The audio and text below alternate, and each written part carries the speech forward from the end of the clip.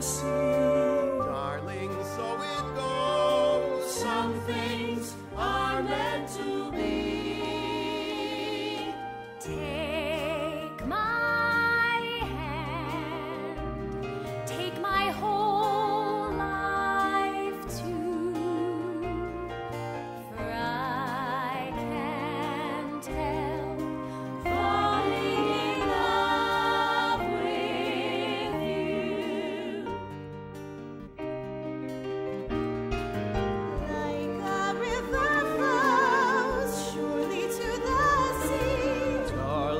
so it goes. Something.